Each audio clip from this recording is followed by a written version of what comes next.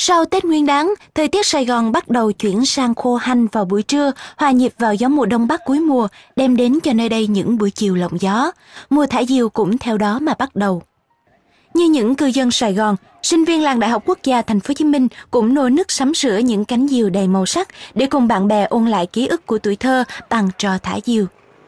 Từ giữa tháng 2, khi mùa gió lên là các tiểu thương đem diều vào làng đại học bán. Trung bình mỗi ngày gian hàng này bán được khoảng 5 đến 6 con diều, giá cả từ 50 đến 60 ngàn đồng.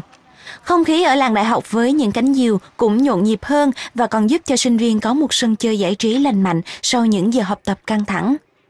À, đây là lần đầu tiên em đi thả diều ở làng đại học. À, ngày trước ở nhà thì ờ, em cũng có cùng mấy đứa bạn trong xóm đi và nói chung là cảm nhận trải nghiệm ờ, ở thả diều ở làng đại học thật sự rất là thú vị. Ờ, có rất nhiều bạn sau giờ học ra đây thả diều và cảm tưởng như mình rất là vui, giải tỏa được nhiều stress trong của bản thân sau giờ học.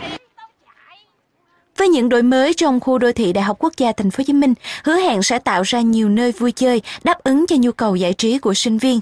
Và mùa thả diều sẽ không còn dành riêng cho sinh viên trong làng đại học mà còn thu hút cư dân ở nhiều nơi trên địa bàn thành phố.